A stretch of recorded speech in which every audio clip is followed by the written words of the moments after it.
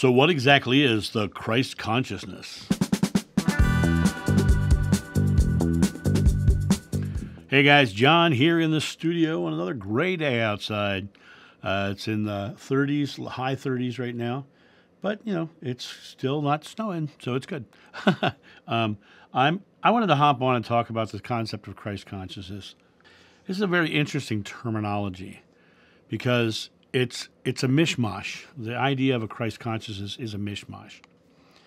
Um, the word Christ means anointed one. It, it comes from ancient Greek, and it's it's based upon the concept of a, a Jewish Messiah.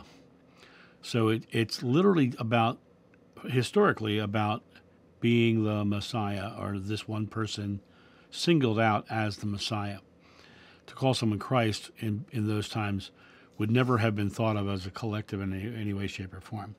It wasn't until the, the, the New Age movement started to mesh more with Christianity that they started to create this concept of a Christ consciousness. Now, when you look at the, the concept of Christ consciousness, you, you have a whole different perspective. And I, I see people all the time who, who use it in various different forms and very frequently not the same way.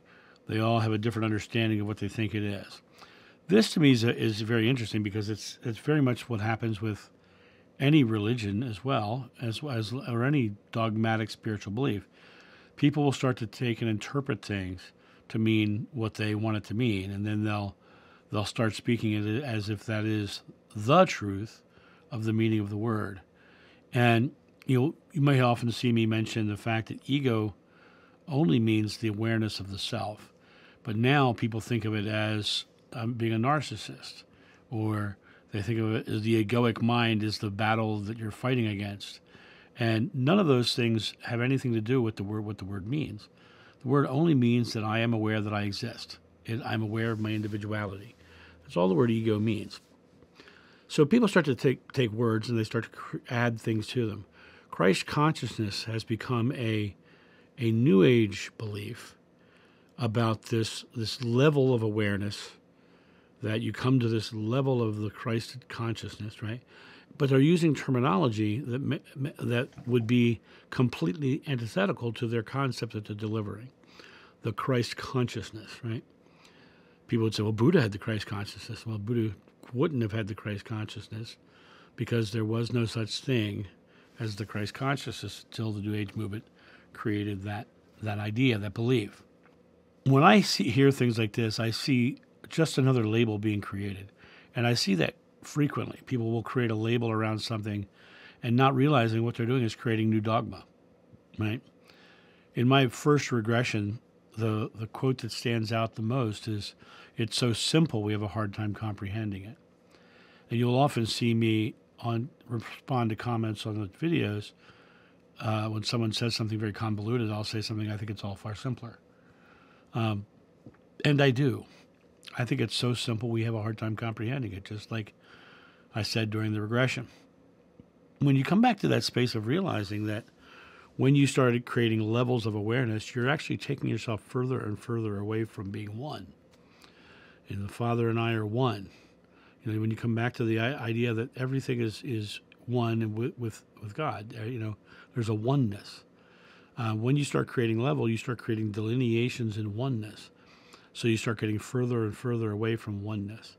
So this Christ consciousness being a level of awareness is literally a pathway away from yourself, which is a pathway away from your oneness with God.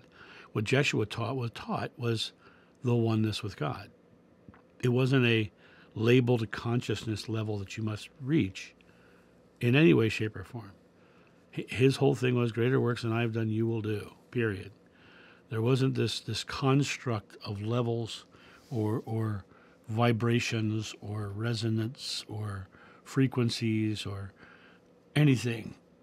These are all very modern terms trying to wrap their the their terminologies around something far more simple.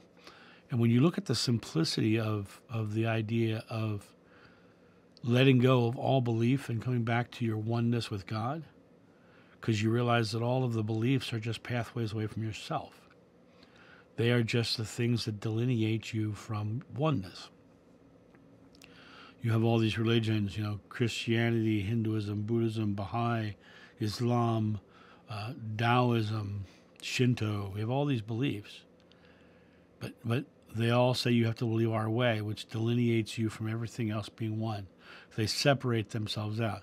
Christianity being the the biggest culprit in this, and saying that you know, Jesus is the only one, the Son of God, the Messiah. Everything else, everybody else is flat out wrong.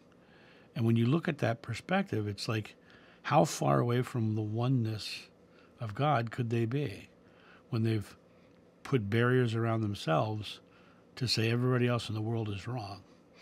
And when you look at it from that perspective, you start to realize that